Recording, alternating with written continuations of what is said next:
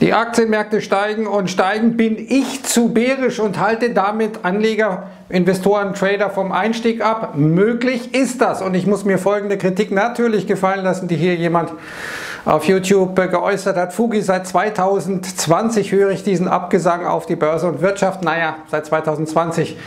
Ich habe versucht, äh, gerade jetzt im Juni, als wir bei den Tiefs waren, zu zeigen, dass wir ziemlich ausgebombt sind. Für mich ist Börse eben nur keine Einbahnstraße, weder nach unten noch nach oben. Hier dann der Kommentator weiter. Du magst zwar mit einigen Tatsachen etc. recht haben, aber doch hältst du deine Zuhörer vermutlich erfolgreich davon ab, im Markt zu investieren. Ja, das ist durchaus möglich.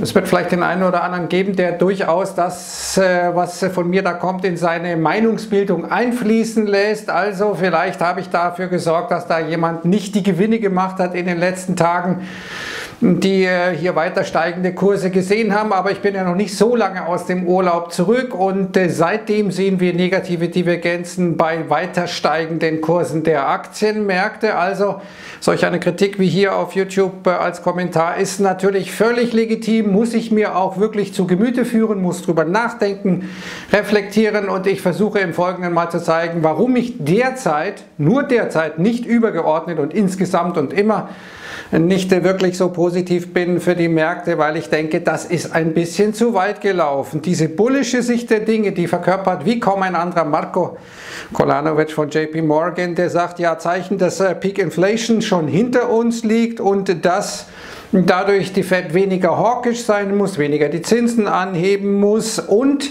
die Wahrscheinlichkeit gut ist, dass wir ein Soft Landing sehen werden der US-Wirtschaft. Das ist ja dieses Goldilocks-Szenario, das die Märkte derzeit spielen. Fed wird mit Zinsanhebungen aufhören äh, und gleichzeitig wird die Wirtschaft nicht so wirklich stark abkühlen. Aber warum sollte die Fed mit den Zinsanhebungen aufhören, wenn die Wirtschaft nicht äh, in eine Rezession fällt, äh, sozusagen sofort äh, sehr stark nach unten geht. Ein Soft Landing würde bedeuten, dass die Inflation nicht wirklich nach unten kommt.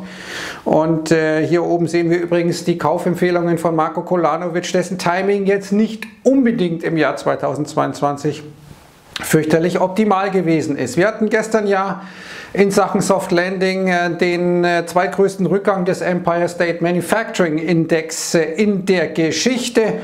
Das würde bedeuten, wenn hier der Empire State als Frühindikator auch für den ISM Index Manufacturing fungieren würde und der wird von den Märkten noch viel stärker beachtet, dann wären wir beim ISM bei 45,9, also tief im Schrumpfungsprozess, alles unter 50 ist ja Kontraktion. David Rosenberg sagt dazu, naja, wir hatten gestern schwach schwachen äh, Empire State Index, wir hatten ganz schwache Hausmarktdaten, NHB Hausmarktindex, der massiv zurückgegangen ist. Wir haben also einen deutlichen Rückgang am US-Immobilienmarkt. Wir haben bei den Manufacturing einen Rückgang, der sich gewaschen hat, aber gleichzeitig sollte ein Soft Landing passieren. Ist nicht so wirklich logisch aus meiner Sicht und in Sachen Soft Landing sehen wir hier die Zinskurve, 2- und 10-jährige Anleiherenditen und wir sehen Kupfer Beide sprechen jetzt nicht gerade dafür, dass wir ein Soft Landing sehen. Also das zunächst mal zum Argument Soft Landing von Marco Kolanovic. Und haben wir wirklich den Peak der Inflation gesehen? Kurzfristig vielleicht ja, aber Inflation verläuft gerne mal in Wellen. Es könnte also sein, dass wir jetzt das Hoch erreicht haben, dann so langsam nach unten gehen, langsam nach unten gehen, nicht schnell nach unten gehen. Dann aber die nächste Welle kommt. So zumindest war es in den 1970er Jahren. Und diese Zeit hat natürlich auch die Fed ein bisschen studiert und sich angeschaut. Und wenn wir jetzt mal zu den Märkten kommen, dann sehen wir etwa den Dow Jones, der jetzt seinen 200-Tages-Durchschnitt erreicht hat, der ja gerade von institutionellen Investoren sehr stark beachtet wird. Äh, da entscheidet sich oft dann äh, eine Investitionsentscheidung, handelt ein Kurs über der 200-Tageslinie, ist das aus Sicht der Investoren dann meistens ein gutes Zeichen und drunter ein schlechtes Zeichen. Jetzt sehen wir, dass wir praktisch hier diesen 200-Tages-Durchschnitt äh, erreicht haben, aber ein RSI haben, der höher ist als im Peak 2021 November, als die Fed die hawkische Wende vollzogen hat. Wir haben jetzt den höchsten RSI im Dow Jones seit April 2021 und äh, für mich persönlich sind eben solche extremen äh, Überkauftheiten, wie wir sie derzeit sehen, nicht wirklich jetzt ein optimaler Long-Einstieg. Heißt nicht, dass wir irgendwann vielleicht ähm, in ein paar Monaten neue Allzeithochs sehen können, das heißt es nicht, aber das heißt, dass vom Timing her möglicherweise das jetzt nicht der allerbeste Einstieg ist, den man sich wählen kann, auch wenn natürlich immer noch ein bisschen oder was nach oben kommen kann, wir sehen hier etwa den S&P 500 auf Tagesbasis, da haben wir noch ein bisschen Platz zur Abwärtstrendkanallinie, die hat der Dow Jones schon erreicht. Und äh, wir haben noch ein bisschen Platz zur 200-Tageslinie beim S&P 500, die verläuft bei 4.327 Punkten, also noch ein paar Pünktchen drüber. Jetzt kommen wir allerdings insgesamt nochmal in wichtige Widerstandsbereiche, wie der untere Chart zeigt. Und also ich würde halt persönlich jetzt, das ist eine persönliche äh, Auffassung, nicht bei solchen Überkauftheiten und bei so nahenden Widerständen eben jetzt noch auf die Long-Seite gehen. Funktionieren kann es gleich wohl trotzdem. Aber aus meiner Sicht ist das eben dann keine besonders gute Chance-Risikowahrscheinlichkeit. Zumal wir Divergenzen sehen auf breitester Front. Wir sehen etwa ein neues Verlaufshoch beim S&P 500 auf Tagesbasis. Wir sehen aber bei den Junk Bonds kein neues Verlaufshoch.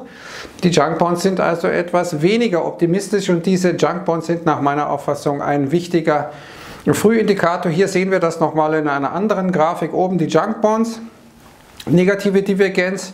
Und äh, unten sehen wir den SPY, das ETF auf den S&P 500 und wir sehen jedes Mal, wenn die auseinandergedriftet sind in den letzten äh, Monaten und Jahren, dann äh, gab es äh, danach eine starke Kursbewegung. Und zwar nach unten. Muss diesmal nicht so sein, aber wie gesagt, das wäre für mich ein weiteres Warnzeichen, das ich äh, beachten würde. Wir hatten gestern Empire State Index, wir haben heute jetzt Zahlen von Walmart und Home Depot da geht es also um den US-Konsumenten, der ja so wichtig ist. Wie ist der wirklich aufgestellt? Wir haben morgen dann die US-Einzelhandelsumsätze, auch sehr, sehr wichtig. Auch wichtig vor allem für diese These Soft Landing. Wird der Konsument noch weiter mitspielen können? Oder ist der schon ein bisschen am Ende? Und wir haben ja jetzt insgesamt anders als in reinen Bullenmärkten eben die Situation, dass die Notenbank nicht Liquidität in die Märkte schießt, sondern tendenziell Liquidität entzieht. A durch Zinsanhebungen, die wieder praktisch nivelliert werden durch eben diese Anstiege der Aktienmärkte. Der Effekt der Zinsanhebungen wird damit faktisch zunichte gemacht, zumindest der letzten beiden Zinsanhebungen, wenn man sich mal die Financial Conditions anschaut. Und wir haben natürlich jetzt auch die Phase, wo die US-Notenbank Fed ähm, die Bilanzsumme reduzieren wird. Bisher hat sie da relativ wenig gemacht, nämlich nur 36 Milliarden Dollar. Und damit ist sie weit hinter dem Fahrplan und sie wollte ja im September dann richtig äh, Gas geben mit 95 Milliarden Dollar pro Monat. Bisher hat sie das also nicht gemacht und das ist vielleicht auch einer der Gründe für die Märkte zu sagen, naja, die FED, die will doch vielleicht nur spielen. Morgen bekommen wir die neuen Daten, das ist, soweit ich das erinnere, jeden Mittwoch veröffentlichte die Fed ihre Bilanzsumme. Insgesamt sehen wir, dass vor allem die Tech-Werte die ganze Geschichte nach oben gezogen haben. Wir haben jetzt eine gewisse Entkoppelung von den Anleiherenditen und den Tech-Märkten. Wir sehen, dass ähm, Information Technology maßgeblich gekauft wird, eben aufgrund von Short Covering. Da müssen also manche Player ihre Position eindecken. Gleichzeitig sehen wir extrem geringe Volumina, Handelsvolumina an den Märkten. Und wir sehen, dass jetzt die Rate Cut Expectations schon ins Kraut schießen, also die Erwartung, dass die Notenbank die Zinsen senkt schon dann im Jahr 2023. Jedenfalls hier nochmal drittgrößtes Short Covering bei Hedgefonds wie Goldman Sachs Prime Desk uns hier erzählt äh, seit äh, in den letzten äh, zehn Jahren und eben diese Eindeckungen auch von CTAs, Vermögensverwaltern, Buybacks, ich hatte das mehrfach schon gesagt, das sind wohl angesichts solcher geringen Volumina, die wir derzeit im Markt sehen, somit die Haupttreiber und eben Retail-Investoren. Also die kleinen Player, die Privatanleger, deren Call-Volumen in letzter Zeit wieder deutlich gestiegen ist. Also die gehen wieder nach dem Muster des Jahres 2021 in die Märkte. Wir haben am Freitag ja den kleinen Verfall, das wird sehr wichtig. Da sehen wir dann meistens ziemlich große Kursbewegungen und wir sehen den Dump Money Confidence Index, also das ist praktisch das äh, Vertrauen der Privatinvestoren, die von der Wall Street als Dump Money, als dummes Geld bezeichnen, wird, ob zu Recht oder zu Unrecht, sei mal dahingestellt. Jedenfalls sehen wir, dass das jetzt auf Niveaus ist, wo es äh, dann in der Regel nicht mehr weitergeht und dann eine Umkehr erfolgt. Diese Umkehr hat Michael Barry, der bekannt ist aus The Big Short, schon gemacht. Er hat jetzt alle seine Aktien verkauft, bis auf eine Aktie, die ähm, ein privates Gefängnis ist oder ein Unternehmen, das ein privates Gefängnis äh, betreibt.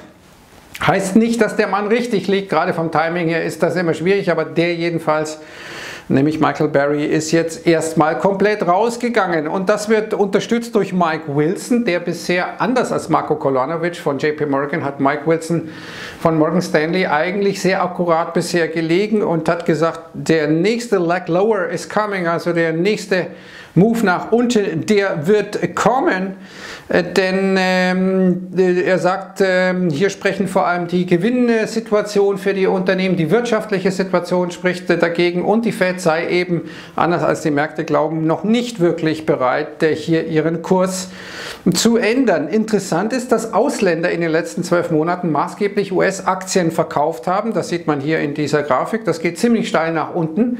Also von Ausländern ist diese Rallye jetzt nicht getragen, also von Nicht-Amerikanern. Interessant auch übrigens, diese Daten wurden alle gestern veröffentlicht, dass die Chinesen weiter den Bestand ihrer amerikanischen Staatsanleihen reduzieren. Jetzt sind wir so gering, also jetzt die, sind die Bestände so gering wie seit dem Jahr 2010 nicht mehr der Chinesen. Wir erinnern uns, die Russen oder Russland hat einige Jahre vor dem Ukraine-Krieg angefangen, die Bestände amerikanischer Staatsanleihen massiv zu reduzieren. Die Chinesen tun das offenkundig jetzt auch eine Art Vorgriff auf das, was mit Taiwan dann kommt, wie bei den Russen in der Ukraine, Fragezeichen spekulativ, aber zumindest interessant zu beobachten.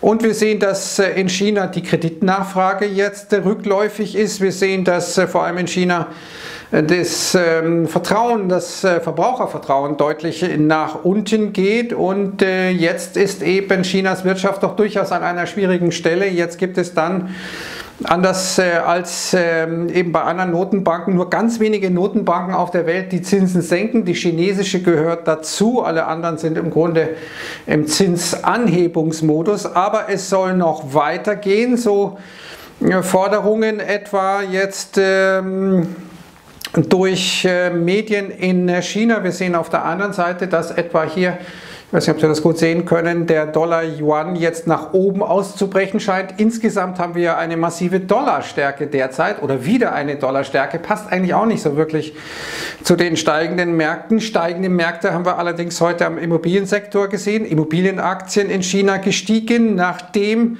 ein Versicherungs-, ein staatliches Versicherungsunternehmen nun die Bonds von ähm, chinesischen Immobilienentwicklern garantieren soll. Das hat teilweise diese Immobilienunternehmen in China zweistellig nach oben geführt.